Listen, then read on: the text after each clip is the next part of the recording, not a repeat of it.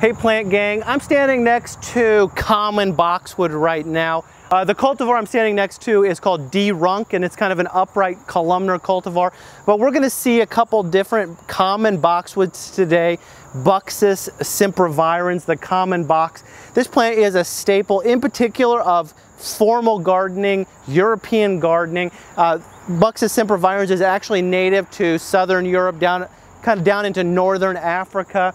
Uh, but this is a plant that is a staple, in particular of formal gardens and then also shade gardens.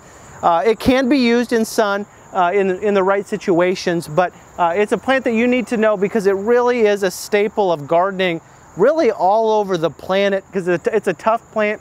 Uh, it's encountering some uh, disease and insect problems right now as, as I do this video that we hopefully can overcome. But common boxwood, evergreen plant, a lot of different cultivars of various sizes and growth habits, and so we want to explore that today.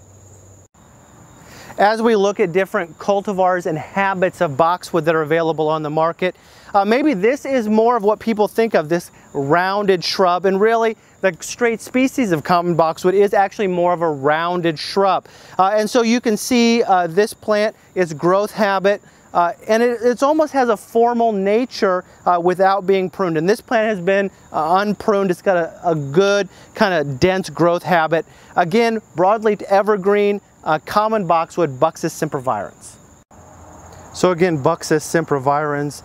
Uh, sometimes it's called common boxwood and sometimes you'll even hear it just be called common box. This is a broadleaf evergreen uh, from native from southeastern Europe all the way again through northern Africa, hardy from zones 5 through 8. But I'm going to tell you, it will need extra protection in zone 5. Uh, depending on the cultivar, you can see boxwood anywhere from 5 to 15 foot high, 5 to 15 foot wide. It really is cultivar dependent. If you uh, if you get a more upright cultivar, it could be taller and narrower. And so you really do need to pay attention to the cultivar uh, that you're purchasing. It is tolerant of rabbit and deer, and so uh, if you've got a lot of deer pressure, a lot of times boxwood uh, might be one of your go-to plants. Now I mentioned that a disease was impacting boxwood right now, and that's called boxwood blight. It's actually a fungal pathogen that's quite widespread.